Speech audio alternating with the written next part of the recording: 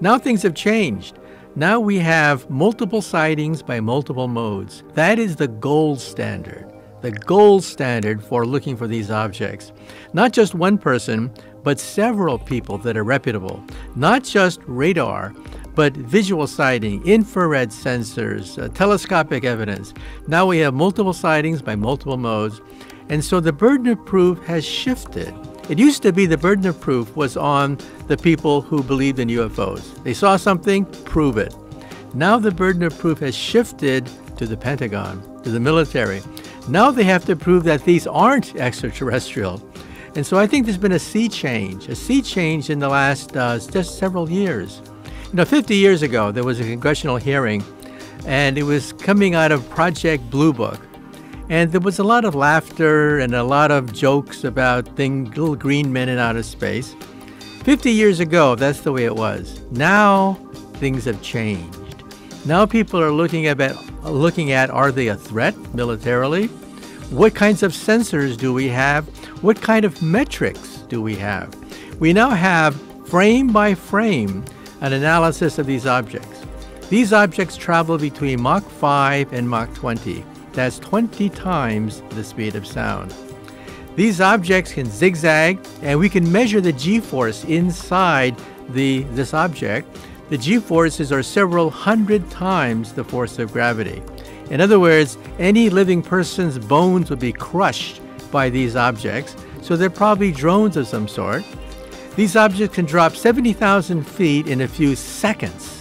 Think about that. It can drop a tremendous distance in just a few seconds, and they can go underwater. This is something that we didn't realize before, but yes, they can actually go underwater. And they also move without creating an exhaust or breaking the sound barrier. So these are things that we can now document frame by frame looking at these videotapes.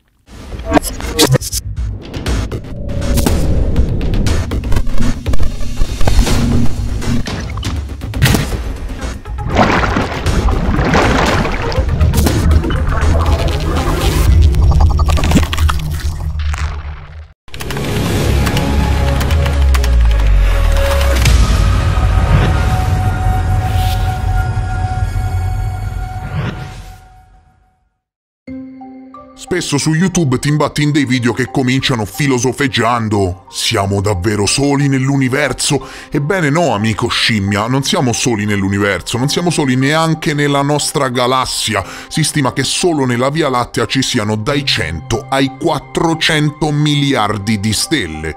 E quindi una cifra ragionevole si aggira intorno ai 200 miliardi di soli. Ora, non so se avete la concezione nella vostra mente della differenza fra un milione e un miliardo, ma ve la chiarisco io, un milione di minuti sono pari ad un anno e undici mesi, quasi a due anni.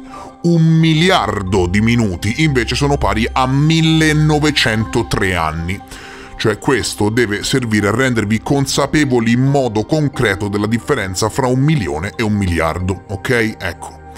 Se attorno ad ogni stella della Via Lattea orbitassero almeno, e ne orbitano molti di più, eh? guarda il nostro sistema solare ha otto pianeti, ma se attorno ad ogni stella della Via Lattea orbitassero almeno, e dico almeno, eh, due pianeti, ci sarebbero qualcosa come dai 400 ai 600 miliardi di pianeti nella sola Via Lattea scremando questo dato, osservando solo determinate tipologie di pianeti che potenzialmente permettono lo svilupparsi della vita, saremo ancora a decine di centinaia di miliardi e scremando ancora gli esopianeti dove è sicuramente possibile la vita, siamo ancora a centinaia di miliardi. Metti caso che per la difficoltà secondo cui la vita tende a svilupparsi, perché non è detto che se un pianeta è pronto per la vita significa che la ospiti, metti caso che per la difficoltà con cui tende la vita a svilupparsi su queste centinaia di miliardi di esopianeti abitabili nella sola Via Lattea ci sia ancora da scremare mare, perché non su tutti si è sviluppata la vita intelligente, ebbene, anche in questo caso, anche nell'ipotesi peggiore di tutte, arriviamo nella sola Via Lattea ad un dato che si aggira intorno alle decine di miliardi di pianeti che ospitano non la vita in qualsiasi forma, ma la vita intelligente. E questo breve resoconto matematico molto approssimato è stato circoscritto solo alla Via Lattea. Aggiungendo altre galassie e il dato relativo all'età di ogni esopianeta all'interno del quale sicuramente si è sviluppata vita intelligente, nell'arco di 13 miliardi di anni arriviamo a concettualizzare migliaia di miliardi di pianeti, se non centinaia di migliaia di miliardi di pianeti molto più antichi del pianeta Terra, sui quali probabilmente la vita si è sviluppata molto prima della nostra. Metti caso che molte di queste antiche civiltà si siano estinte. Rimane comunque un dato esagerato, quasi inconcepibile per la mente umana che concettualizza in modo molto onesto e concreto, se mi permettete, specie altamente evolute che abitano l'universo. Sono sicuro che tu, sì, proprio tu che stai guardando questo video, che segui questo canale senza pregiudizi perché sei una persona che ha sviluppato una coscienza e una consapevolezza dell'universo molto più spiccata rispetto alla società di macachi disevoluti in cui vivi, sono sicuro che ogni volta che guardi le stelle hai come la sensazione che da qualche parte, là fuori, qualcuno stia guardando la tua luce. Oggi ci sono un po' di cose che sento di voler dire e quindi spero che ti incuriosisca questa chiacchierata. Sì, Omega, ma date le grandezze e le distanze cosmiche è impossibile che una civiltà evoluta attraversi la galassia per visitarci. No, è impossibile per te e per il tuo grado di avanzamento tecnologico attuale, cosa dire di una civiltà tecnologicamente evoluta che ha iniziato a compiere viaggi nello spazio quando qui sulla Terra c'erano ancora i dinosauri? Perché la matematica, se te lo chiedi, ci dice che numeri alla mano sicuramente esistono miliardi di pianeti nella galassia molto più antichi del pianeta Terra, che ospitano la vita da molto più tempo e quindi la scienza stessa legittima questo pensiero. Non possiamo sapere, persone che abitano lontane nel tempo e nello spazio, nate centinaia di migliaia se non milioni di anni prima di noi, che grado di tecnologia hanno raggiunto e quindi è impossibile attraversare la galassia? Sì, per noi scimmie. Per noi scimmie è impossibile, per gli altri non si sa. Ricordiamo che Einstein, matematica alla mano, ha scritto che è ragionevolmente possibile piegare lo spazio-tempo e quindi te che parli ignorante come un pezzo di legno, non sai neanche se queste persone attraversano tutta la strada in linea retta o se prendono delle scorciatoie. Non sai neanche se queste persone hanno trasceso la materia e magari utilizzano forme di tecnologia che a noi ci appaiono come forme assolutamente energetiche. La terza legge di Clark parla chiaro, qualunque tecnologia sufficientemente avanzata è indistinguibile dalla magia, cioè questa è la risposta a tutto, lo capite? È chiaro? Questa è la risposta assoluta al sensazionalismo correlato al fenomeno degli UFO.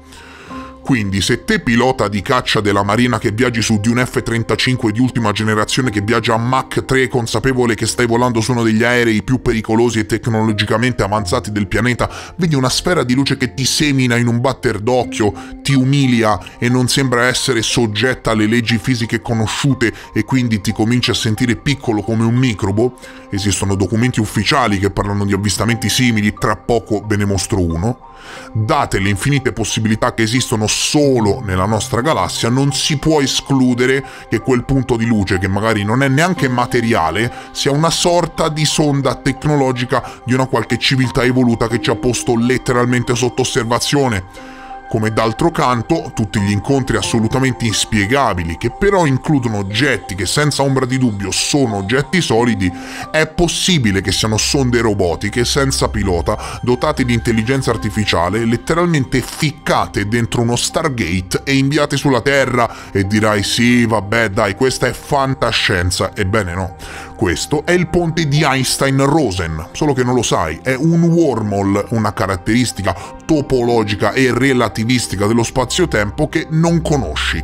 State guardando una rappresentazione bidimensionale secondo Einstein. Viene detta anche galleria gravitazionale e se pensi che si tratta solo di teorie correlate solo ed esclusivamente ai film di fantascienza, ti consiglio di studiare un ometto di nome Einstein. Quello che state guardando è un fascicolo ufficiale governativo facente parte dei cosiddetti Defense Intelligence Reference Document, redatti da un'azienda di tecnologie avanzate in Texas, la EarthTech International, per il governo degli Stati Uniti, per la Defense Intelligence Agency. E fatevi due domande, voglio dire, il fascicolo in questione si chiama Wormhole attraversabili, Stargate ed energia negativa, documenti rimasti top secret per anni, voglio dire, sai di cosa si occupa la Defense Intelligence Agency? Parliamo dell'agenzia di intelligence che informa i responsabili politici della difesa sulle intenzioni e le capacità dei governi stranieri e le capacità dei governi stranieri. Si occupa di spionaggio estero e di sicurezza nazionale e chissà come mai hanno richiesto qualche anno fa un briefing in merito agli wormhole. Purtroppo, sai che c'è? C'è molta disinformazione in Italia, c'è molta ignoranza, la maggior parte della gente pensa ancora che queste cose siano fesserie e non per nulla siamo l'ultimo paese in Europa per la comprensione di un testo scritto.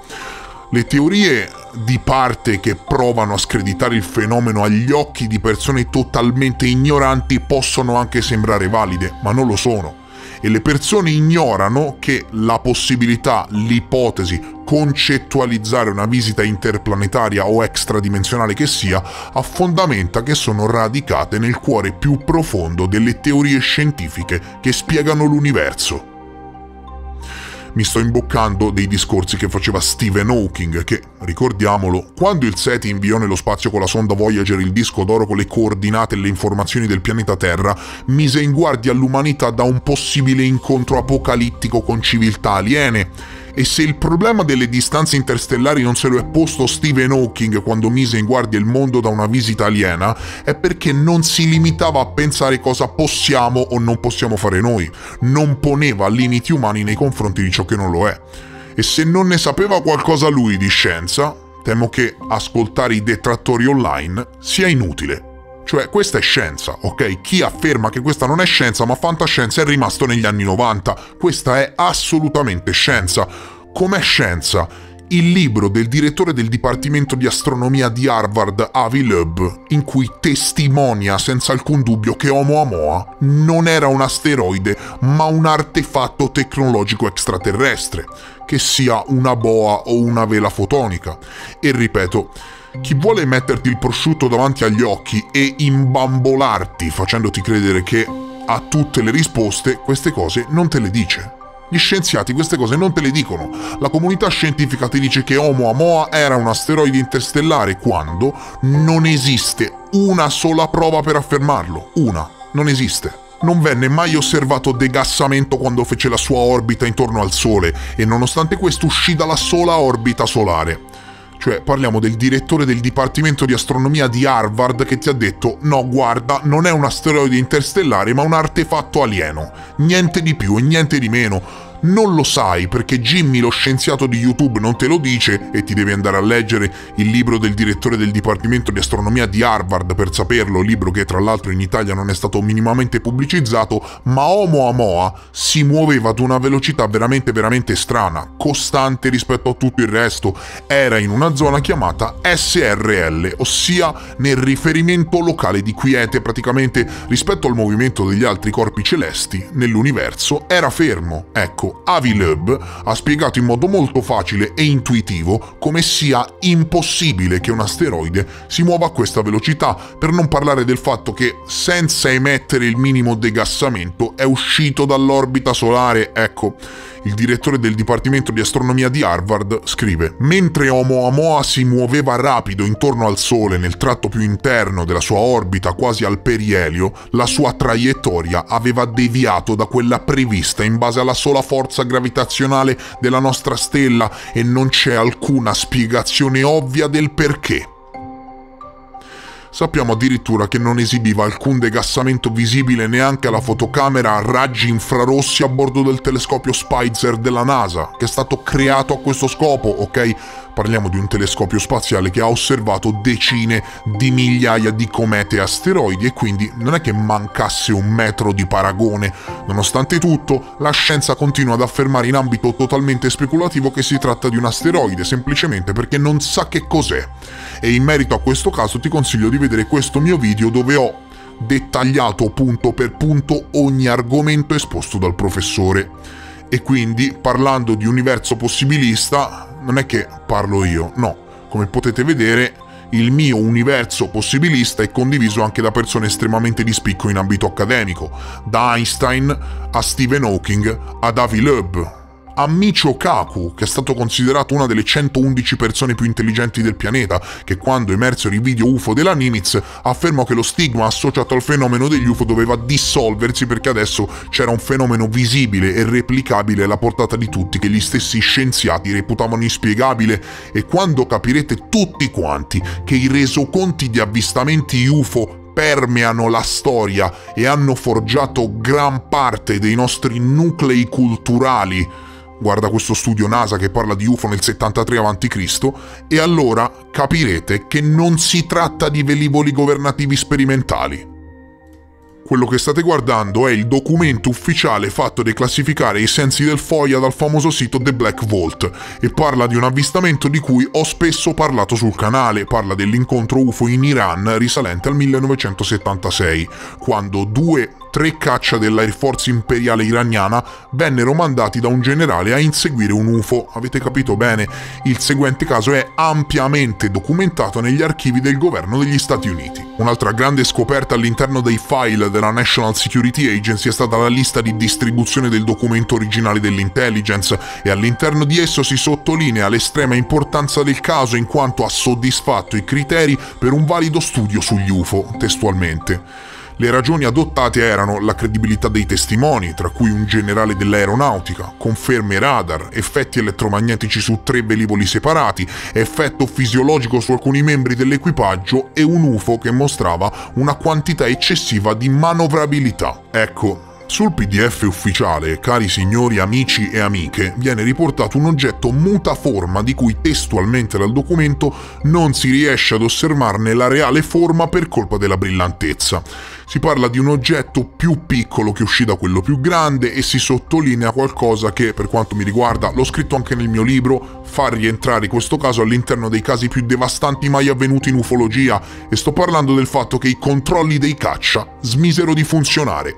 C'è scritto testualmente sul documento ufficiale quando l'F4 approcciò l'oggetto a circa 25 miglia nautiche, perse tutta la strumentazione e le comunicazioni. A quel punto il caccia ruppe l'intercettazione e tornò alla base aerea di Shamrocky. Si parla di ritorni radar e di un oggetto molto brillante. Qui c'è tutto, avvistamento radar visuale, testimonianze dei piloti, malfunzionamento di apparecchi elettronici su tre aerei, avvistamenti da terra, l'oggetto mutaforma che si sdoppia, si parla infatti di un secondo oggetto, effetti fisiologici sui piloti e chi più ne ha più ne metta. Ecco, Ora prova a riflettere su tutta la prima parte del video inerente al mio universo possibilista e pensa che di questi rapporti ne esistono a migliaia. Il punto di vista di Michio Kaku è molto interessante ne ho parlato nel mio secondo libro. Dice Sicuramente saranno sonde o droni senza pilota perché i G di forza calcolati in matematica alla mano dalle manovre triangolate dai radar e dai piloti distruggerebbero qualsiasi corpo che si trovi all'interno dei velivoli. Per non parlare dell'integrità strutturale dei mezzi, ok? Lo abbiamo riportato anche carte alla mano decine di volte. Gli F-35 hanno supportato fino a 13,5 G di forza. Ecco, le manovre osservate in ambito UFO, come riportato anche da Michio Kaku, rivelano centinaia di G di forza forza. Allora, se la matematica non è un'opinione, fino a prova contraria, fino a che qualcuno non avrà tesi altrettanto valide da ripropormi, questi oggetti intanto non sono costruiti né dall'uomo né con materiali terrestri. Punto secondo, l'idea che mi sono fatto negli anni è quella riportata palesemente dal Scientific American. Se gli alieni sono qui, sono qui sotto forma di sonde robotiche e provate a pensarci. Questo risolverebbe tutto. Risolverebbe tutto quello che non ti spieghi in merito ai viaggi interstellari per quanto riguarda esseri biologici e questo riassume in breve tutto il capitolo del mio libro dove parlo del paradosso temporale correlato ai viaggi interstellari risolverebbe le manovre, risolverebbe la sostenibilità di attraversare un wormhole per un corpo biologico e altre migliaia di cose. realizza una macchina abbastanza sofisticata dotata di intelligenza artificiale talmente avanzata da risultare indistinguibile da un essere pensante e invia la sonda in giro per l'universo attraverso degli wormhole. Ecco fatto che vedi risolto il mistero degli UFO senza per forza concettualizzare persone che si recano fisicamente sulla Terra, anche perché Via, c'è bisogno di spiegarlo un attimo, l'ho scritto nel mio libro, ma è bene ripeterlo. Chi viaggia nello spazio attraversando grandi distanze viaggia anche nel tempo, non importa se poi usa scorciatoie, anche se usano scorciatoie, non è possibile risolvere il paradosso temporale. E dunque sarebbe per gli alieni un viaggio di sola andata quando tornano, anche se sono stati qui un mese, sul loro pianeta probabilmente sono passati centinaia di anni. E questo è dimostrato dalla teoria della relatività generale, perché nell'universo non esiste un presente simultaneo, perché tempo e spazio sono indissolubilmente legati e quindi, per quanto mi riguarda, le sonde robotiche aliene di cui parla il Scientific American risolverebbero molti, ma molti problemi. Qual è la connessione fra il mio universo possibilista e una visita extraterrestre? Cosa ne pensi di tutto questo mio discorso? Fammelo sapere in un commento. Mi raccomando, se il video ti è piaciuto supportami con un like che è gratis e non ti costa niente e se sei nuovo iscriviti al canale. Io vi ringrazio per essere stati con me, vi mando un grande abbraccio e vi rimando al prossimo episodio. Grazie a tutti. Adieu.